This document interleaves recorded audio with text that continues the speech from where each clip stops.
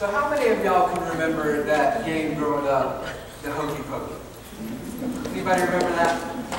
One of my mentors, Dr. Steve Harper, uh, retired now from Asbury Theological Seminary, has made it my uh, personal goal, my mission, my calling, to get the Hokey Pokey into the United Methodist Hymnal.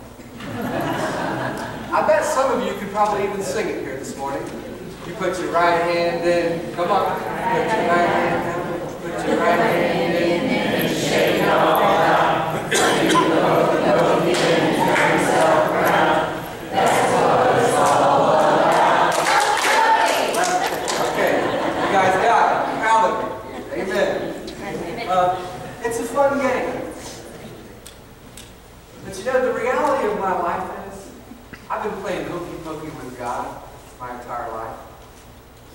Coming to my relationship with God and putting my hand in, taking my hand back out, or putting my foot in, taking my foot back out, or sticking my toe into the waters of my relationship with God and taking it back out, or putting my head in, but maybe not my heart. But at some point in the song, we've got to get to where we do what? Where we put our whole self in. We put our whole self into our relationship with God, and we let the Holy Spirit shake us all about. You know, John Wesley said, don't be a trifler all your life. Now, I don't know what trifler means, but I assume it's some 1700s term for don't be a pew potato. Don't be a lazy person. He says, don't be a trifler all your life. Fix some part of your day for spiritual exercise. Read the Bible and pray daily. See, the spiritual life, the Christian life, is one of intense spiritual discipline. How many of you can remember those slogans from the 70s, 80s, and, and today? Those get fit uh, fitness slogans like, feel the burn, get physical, no pain, no gain. When the going gets tough, the tough get going. Those are calls to physical fitness, but they apply to our spiritual lives as well, right? What do you do when your Bible becomes like that treadmill, uh, cobweb-covered treadmill, you know, the one that sits in the basement or the garage that you never look at anymore? What do you do when your prayer life becomes like that diet? You know, the one you started a long time ago but quit? What do you do when your church membership becomes like that gym membership, the one you still pay for but don't actually use? John Wesley said also that he wasn't afraid the people called Methodists would ever cease to exist, either in Europe or America. But he was afraid that they would come to exist only as a dead sect, having all the form of religion without the power. And this undoubtedly will be the case, Wesley said, unless we hold fast to the spirit, doctrine, and discipline with which we first set out. Our ambassador in chains, Paul the Apostle, from his prison cell, would give these spiritual get fit slogans like run the race, press on towards the goal. Don't run the race in vain, but press on to get the crown that Christ has called us heavenward. Fight the good fight. Don't fight like a person beating their fist against the air, but beat down your flesh so your spirit can reign. Stand firm, run the race, press on toward the goal. No pain, no gain. Suit up and show up. Let us pray. Lord God, we thank you for this opportunity to gather in your word. And we pray, O oh Lord, that this would not simply be text on a page, but that you would cause these words to burst forth from their ink cage and to live and dance in our hearts. We pray, O oh God, that these words would become incarnate in us. And it's in the mighty name of Jesus we pray. Amen. Amen. And so John Wesley gives us these two categories that's in line with Christian witness all the way back to the beginning uh, that are associated with the Great Commandment. To love the Lord your God with all your heart, soul, and mind, and love your neighbor as yourself. And there's these two categories of behaviors or activities we do as Christians. One he, he classified as works of piety and then works of mercy. And those works of piety are the things we do to increase our relationship with God, to strengthen our soul, uh, things like prayer, reading the Bible, fasting, worshiping.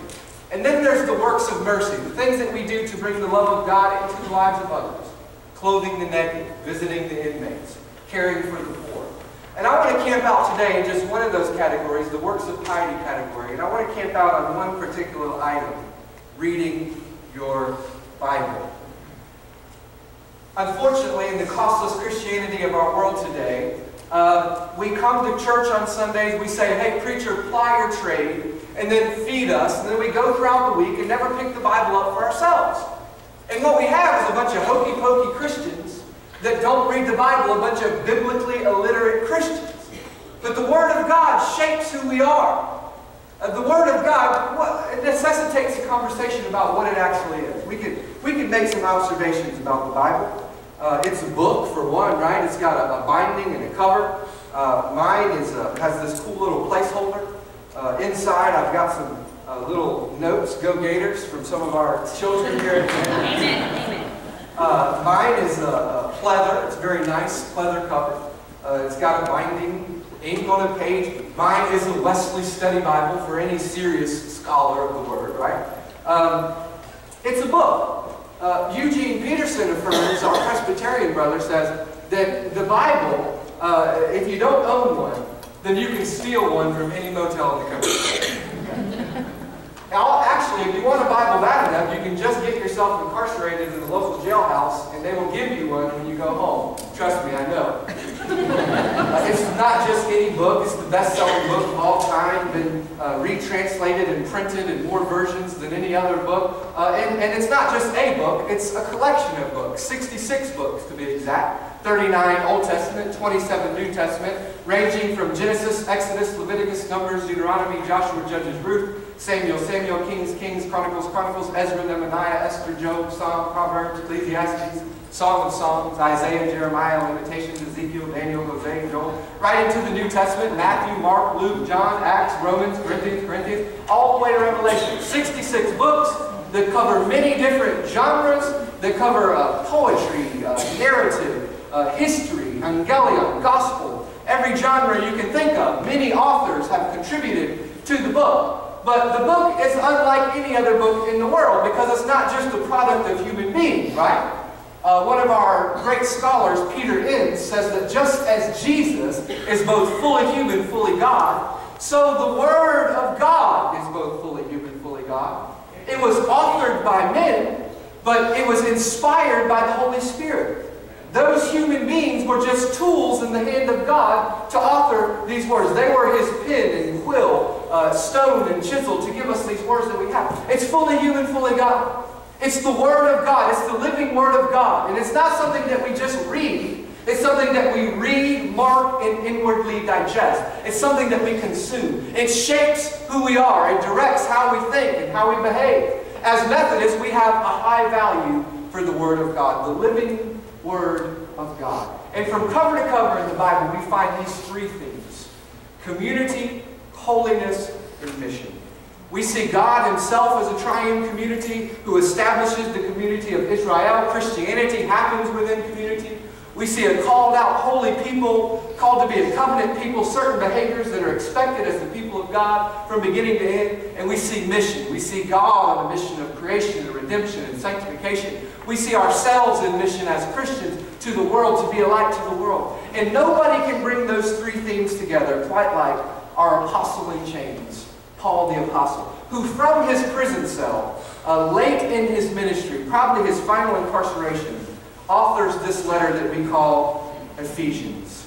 Now, Ephesians is probably not the proper title for this book. The earliest manuscripts don't have that designation, Ephesians.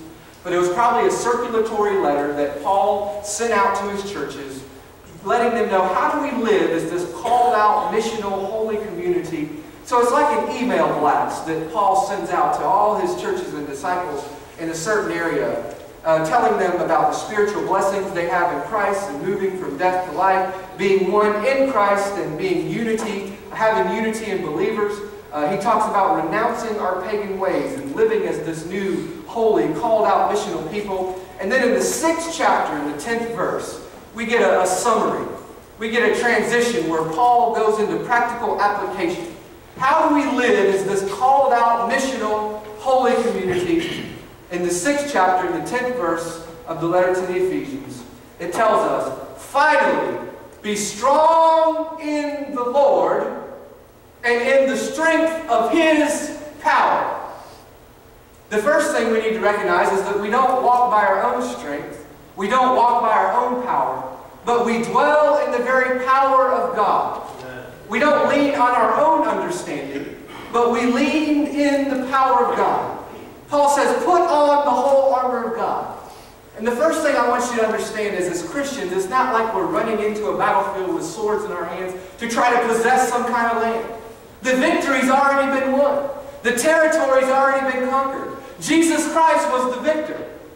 You should give me an amen there. Amen. You see, and the cross of Jesus Christ, He defeated death, He defeated sin, He defeated all the plans of the enemy. He was resurrected from the dead, by the way. He's risen. Uh, he's been raised from the dead. He defeated death. He came back with the keys to hell and death. And he's conquered this territory. Jesus didn't come to proclaim a religion. Jesus came to establish a kingdom. And we are part of that kingdom as his people, as Christians. But we live in this fallen, broken world that is marred by sin. So Paul says, uh, it's not that you got to conquer any kind of ter territory, but you stand and you put on the armor that God has provided so that you may be able to stand against the wiles of the devil.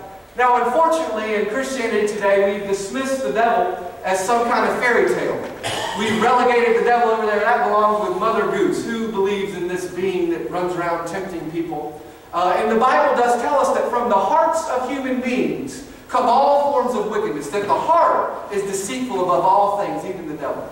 But from cover to cover in the Holy Word of God, we are introduced to this being called the devil. He's there in the beginning, in the garden, tempting Adam and Eve. He's there going before God to make accusations against Job. He's there in the wilderness, tempting Jesus. Jesus tells us that he's one who comes to steal the seed of the word, the seed of faith that is planted in people's hearts. He's like a roaring lion going around who he, seeking he can devour. He's like a dragon that will be cast out of heaven in the final day. Uh, if Jesus believed in the devil, then I think it's pretty important we should believe in the devil. Amen? So we have an enemy, and he's set against us to devour weak-willed Christians. And it says, for our struggle is not against flesh and blood. Our struggle is not against each other, folks. Our struggle is not against other racial groups or other denominations or other nations. Our struggle, Paul says, is against the authorities, against the cosmic powers of this present darkness, and against the spiritual forces of wickedness in the heavenly places. Our struggle, he paints this uh, portrait that's cosmic in scope. That here we are as the kingdom of Christ, living in this fallen, broken world, and there's this great collision between these two kingdoms. And he says, therefore, in light of that reality, take up the whole armor of God. See, God's already provided us the armor to stand firm. That's the discipline piece, that we stand and put on the very armor that God has provided. That's the only thing we have to do. The victory's already won. We just have to have this daily discipline of putting on what God has provided so that you will be able to withstand on that evil day and having everything you can do to stand. Stand firm. Feel the burn. Suit up and show up. Stand and deliver. In the territory that Christ has conquered, put on the whole armor of God, standing therefore and belting around your waist the belt of truth. Now, any good soldier knows that a belt is an important part of the armor. The, the belt brings everything together. Uh, you can hang your weapon and your flashlight and all the tools you need on the battlefield off your belt. Uh, it, it's an essential part of the armor. What is the belt of truth for us as Christians? Well, I find it interesting that when Pontius Pilate is there judging Jesus, and, and, and he thinks he's judging Jesus, he's actually judging himself. And Jesus says, I've come to bear witness to the truth, to bring the kingdom of my Father into this world. And Pilate says, well, what is truth? And it's ironic to me that standing right in front of Pilate is truth with skin on. Jesus is the embodiment of truth. He's the way, the truth, and the life. Amen? Amen? As Christians, we don't believe in a philosophy or an ideology as truth. We believe in a person that is truth. His name is Jesus Christ. And so the belt of truth is we strap up the truth of who we are and whose we are and who He is.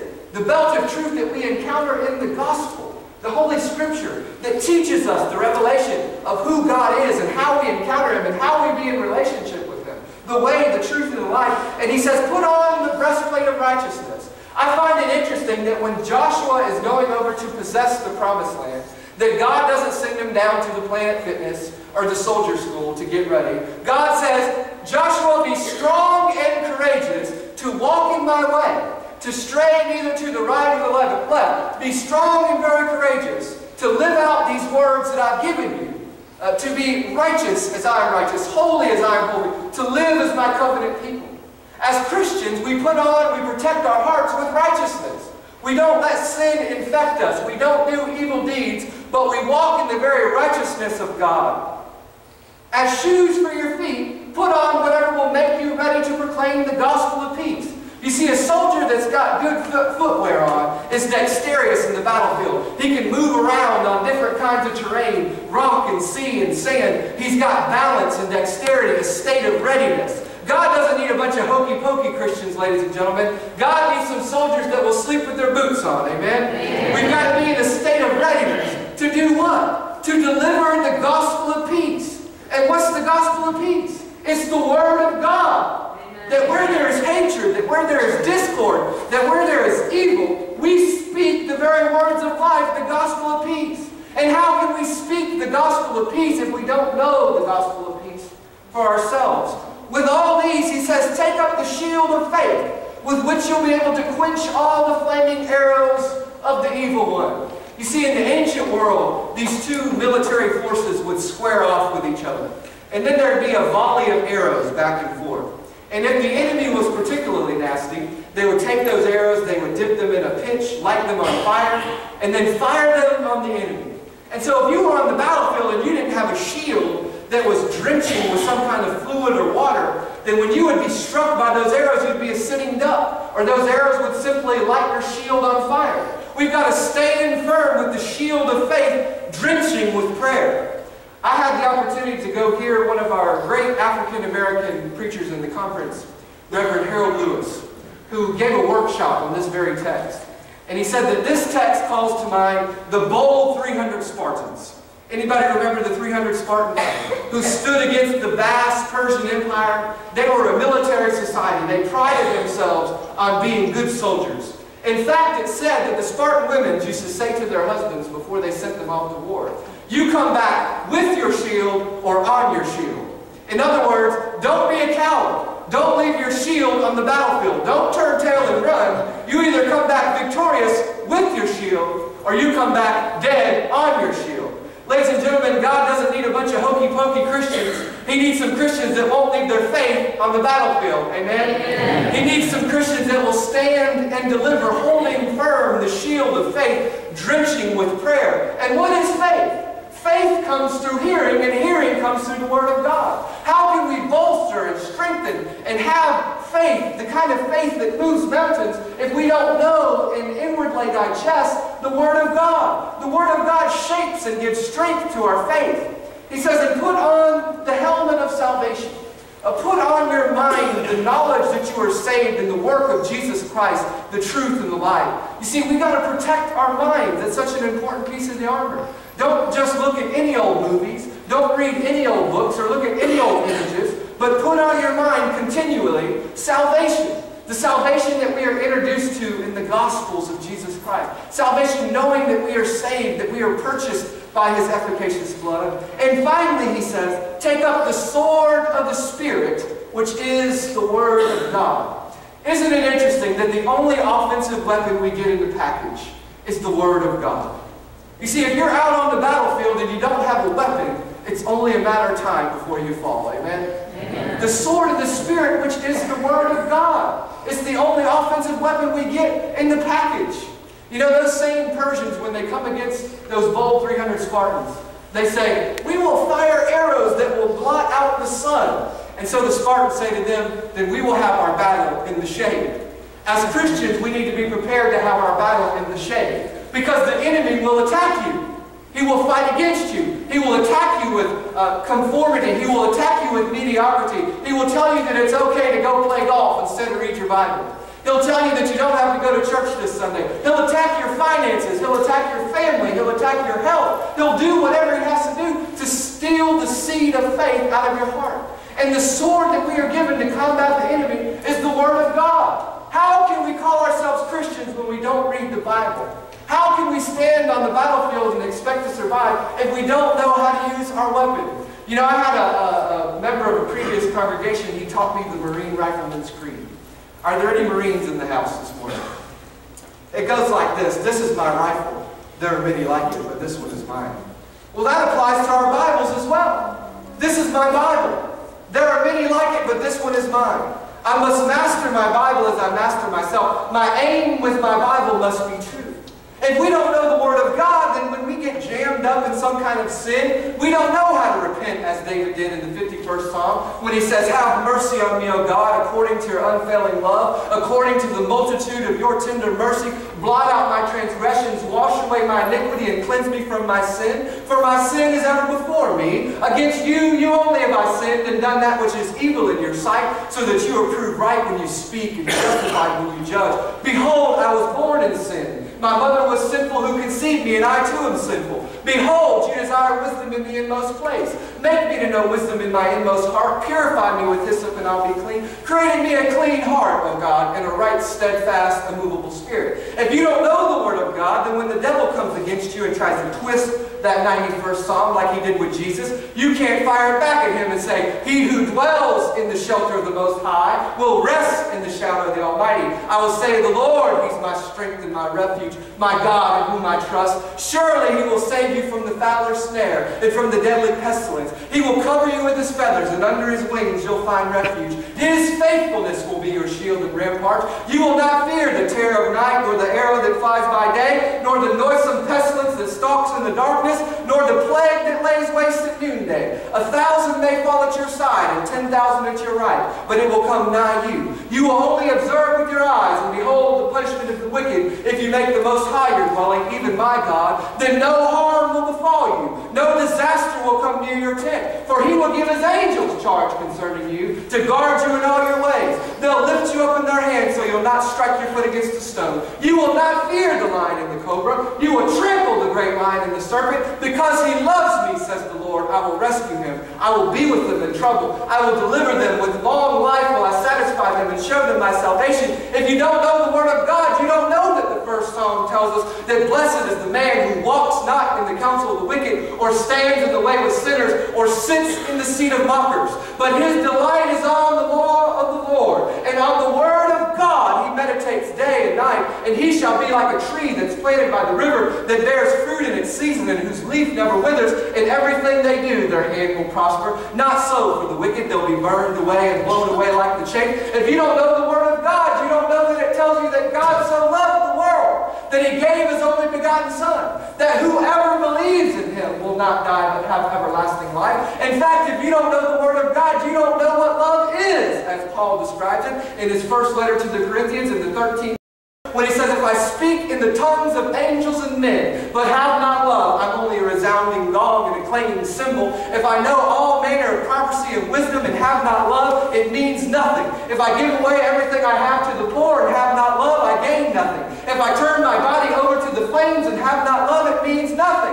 Love is patient, love is kind, it is not arrogant, it does not boast. Faith, hope, and love abide, but the greatest of these is love. In fact, if you don't know the Word of God, you don't know that it tells you that God is love. Can I get an amen? amen. We've got to know how to use our weapon, ladies and gentlemen. We've got to read and process and digest the Word of God. It shapes who we are. It shapes our mind, our hearts, and our souls, and our behaviors. we got to pick up our Bibles on a daily basis and read them. We don't need a bunch of hokey pokey Christians. We need a bunch of all together, whole self, real Christians that read, that pray, that love God with all their heart, soul, and mind, and love their neighbor as themselves.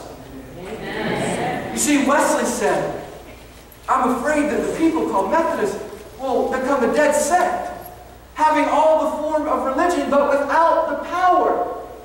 And that undoubtedly will be the case unless they hold fast to the spirit, doctrine, and discipline with which they first set out. The Word of God is a powerful thing. In archeo in holagas, kai in holagas, prostan theon.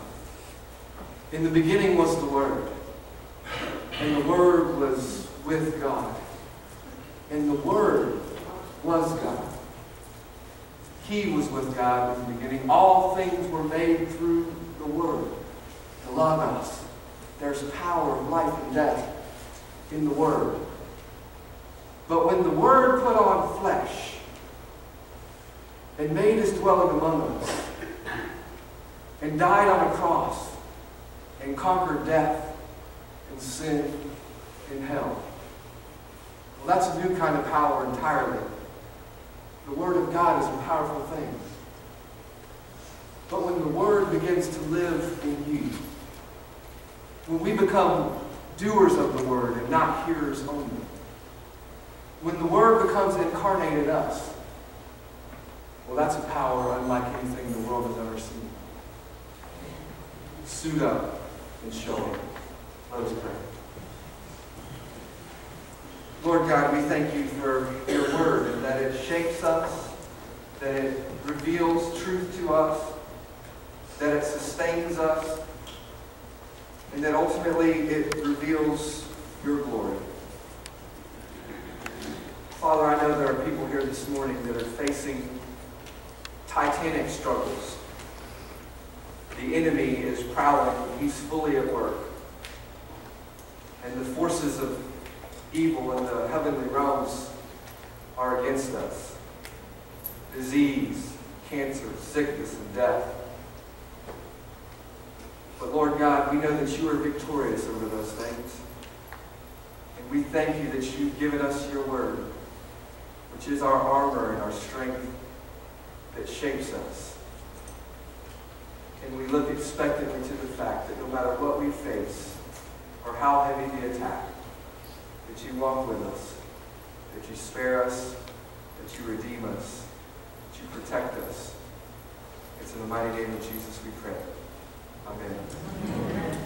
Now we have this opportunity to gather at the table together, to confess our sins, to get our hearts clean before God, and to accept this precious gift of our Messiah. The Lord be with you. Also with you. Lift up your hearts. Lift them up to the Lord. Let us give thanks to the Lord our God. It is right to give our thanks and praise. And so with your people on earth and all the company of heaven, we praise your name and join their unending hymn. Holy, holy, Lord, God, power and might, heaven and earth are full of your glory. Hosanna in the highest. Blessed is he who comes in the name of the Lord. Hosanna in the highest. On the night Jesus gathered with his disciples, that final night, he took the bread and he broke it. He said, This is my body broken for you. Take. And then he took the cup. He said, This is the blood of the new covenant shed for the forgiveness of sins. Take and drink. Do this always in remembrance of me. And so, in remembrance of these, your mighty acts in Jesus Christ, we offer ourselves in praise and thanksgiving as a holy and living sacrifice in union with Christ's offering for us as we proclaim the mystery of the faith. Christ has died, Christ is risen, Christ will come again.